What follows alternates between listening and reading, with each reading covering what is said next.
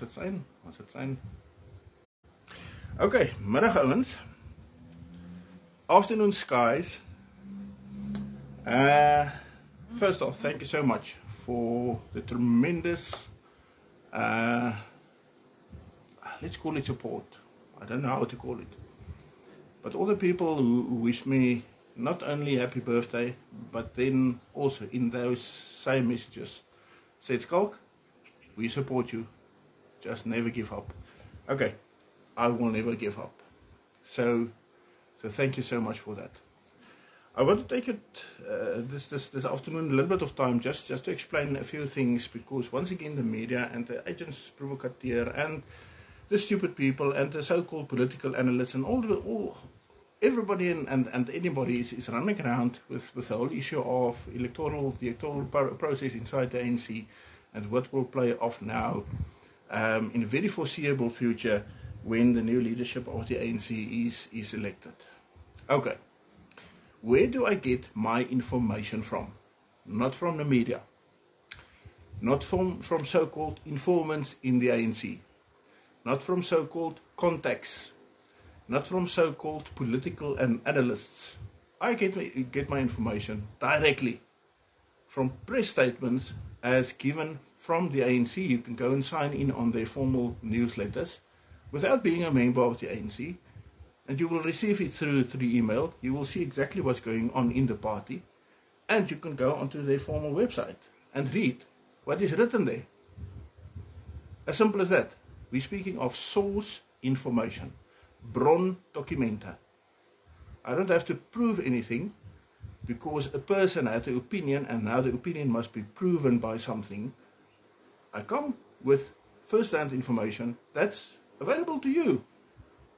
Ek en Leonie het nou net lekker gelag gesê. Dis dis nou nee skalk skalk is nou weer dis nou weer iets van van geheime hierdie. En uh nee dis dis seker net die Freemasons wat hierdie goeters weet. Ek is nie eers 'n Freemason nie. Okay? I always have have quite a laugh about Freemasonry, but let's let's leave that for for another day. I get my information from the source documents from which the other guys get the information, who makes opinions and then try to convince you through opinion. Okay. Who's left? From the ANC's own lists of nominations. I'm first going to break something to you about the people being nominated already for what is called the National Ex Executive Committee, the NEC of the ANC, in other words, the governing body of the ANC. That list is available. There's the list. Right? On the ANC's own website. I'm going to just call out the first 10 names. There's no need calling out more, just to give you an idea of the information that's here right in front of me. The first person here nominated, or the person with the highest number of nominations already out of the branches of the, the ANC, is a person by the name of Sihle Zikalala, male, and he has 1,447 nominations. There it is. Right? Second one, Malusi Gigaba. You'll remember that uh, that guy. The, guy, he, he, always looked like a little peacock with the, uh, the best clothes you can think of. I, I think you can you can smell him a mile away on on expensive uh, perfumes from from Europe. Um, he's number number two, despite all the things that happened previously. I don't even want to, to go and mention to you all the scandals that, that he was involved in. And he received 1,366 nominations. There it is. Then we have uh, Maduduzi Manana, we have David Masondo, David Masondo quite quite well known.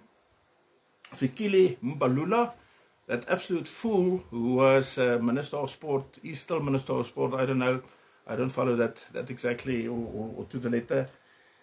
Uh, yeah, but for Fikile, the one that, that said to, to the Springboks they must go and bliksem, I think it was the, the All Blacks, that guy. Uh, Stella, the first female, Stella uh, Abrahams, she has 1,170 nominations. Ronald Lamola, uh, he's now Minister of uh, of Justice, of, of Justice and Constitutional Development. He's an advocate himself. I've met him, I think, once or twice. he actually made a very good impression on me. But yes, still, he's SACP slash ANC, so I, I leave it at that. David Makhura, interesting enough, at number eight, Thoko Tudise, uh, Tidiza, you also know her very well, number uh, number nine, um, and Andile Lingu, uh, Lingusi, um, number ten. And then they have, I don't know, I think nearly 600 nominations from there on. I can't scroll that far, I don't have, have to scroll there.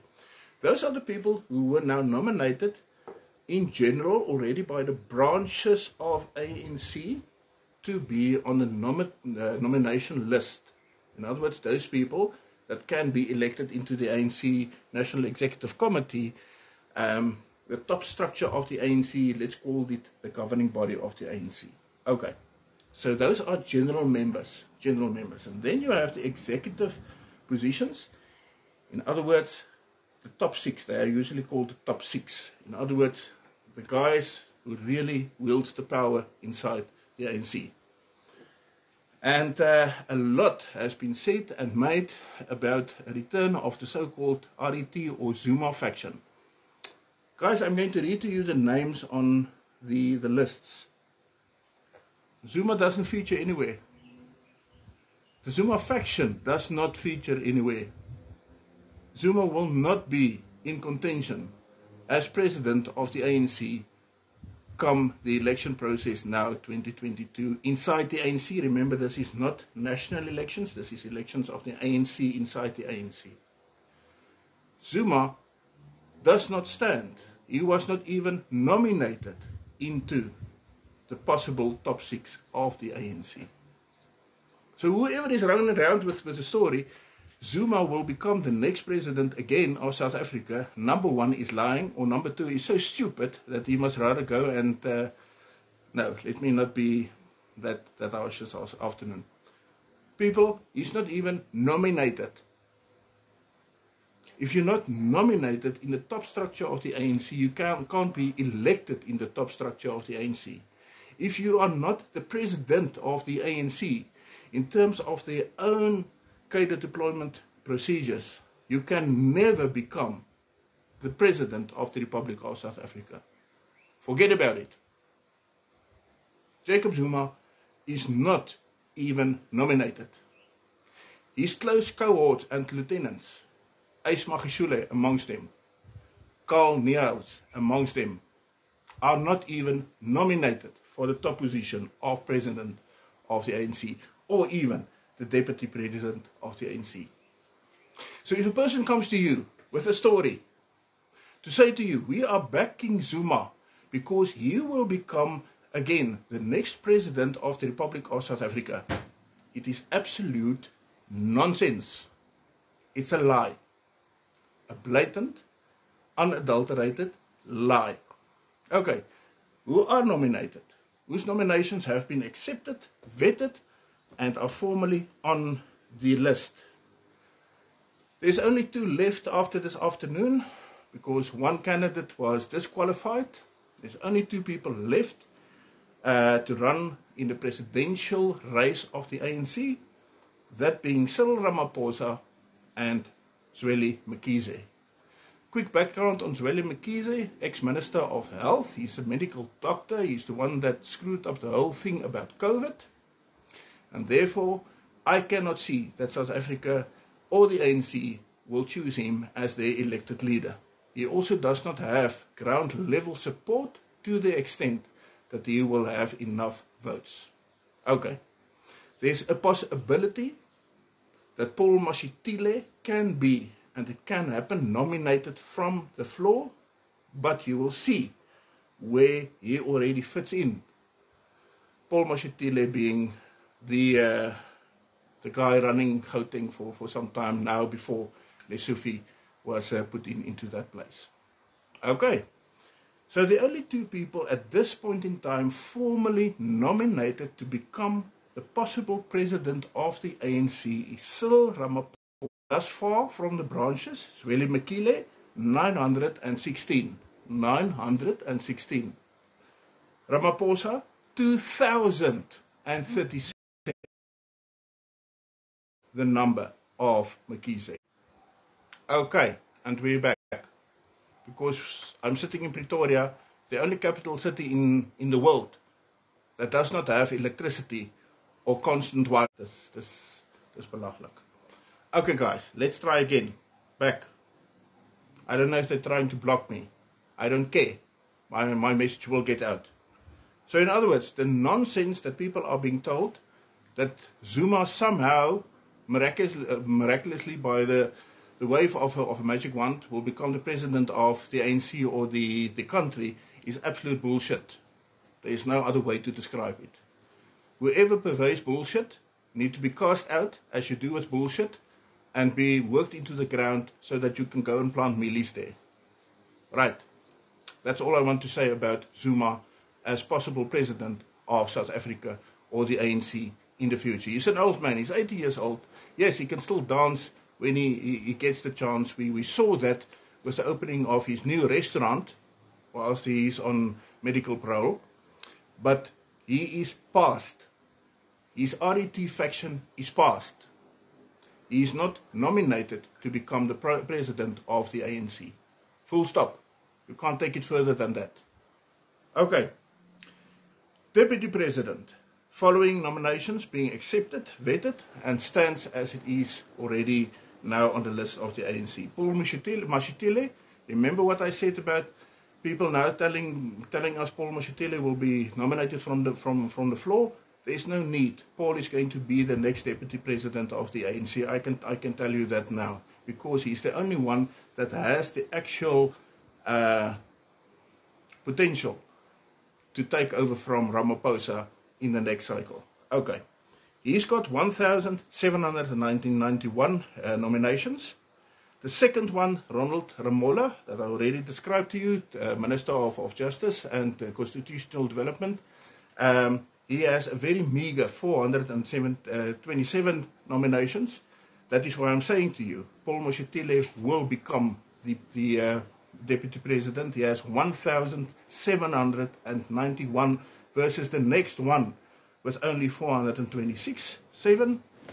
And now the wind is blowing me away. And then lastly, we have Oscar Mabuyane with a very meager 397 nominations. So in other words, President and Deputy President of the ANC, I will put money on this, will be Cyril Ramaphosa President and Paul Mashatile to be Vice President, Deputy President. Secretary General, we have uh, Ndu Meseni Ntuli, 1,225. Um, Pumulo Masauli with 427 and uh, Fakili Mabululi with 749. I don't know. I would assume Ntuli will become the uh, new Secretary General. Remember, Ace Magashule was not even nominated again to become SG of the ANC. Okay, as simple as that. He, he doesn't even feature. The so called lieutenant to Zuma, who supposedly in the mind of certain people will become the next president or the next uh, deputy president of, of the country. Then chairperson, Stan, Stanley Mathabatha, 1,492, Gwede Mantashe, 978, and David Pasondu, 501. Chairperson being a very senior, very uh, uh, heavy hitting position in the ANC, and therefore a very senior person in the ANC is usually uh, elected into that position. He's like the old man, like chairperson, uh, the chairman of the board in, in the corporate world. That is what, what he does. And then Treasurer General, in other words, the guy running the money, is Benjamin Chauke with four, 552, Paul Mabe 428, and Masina with 348. I don't know who's going to become the Treasurer General, doesn't matter He's like the financial director of the company. He's not there to, to do much more than simply run the finances of, of the of the ANC. People, those are the, the, the simple and hard facts relating to the coming NEC election process of 2022. Zuma has not even been uh, nominated. His lieutenants have not even been nominated. They cannot take over the ANC and therefore they cannot take over the country in a year and a half, two years from now, during the general uh, elections taking place there. If a person tells you that, as I said already, pardon my French again, ladies, the person is speaking simple bullshit. Okay. Cast him out. Cast him out. And that is what we are sitting with this afternoon. I wanted to bring you this message. Why? Because I can already see how people are running around with absolute nonsense in the media and these so called political analysts.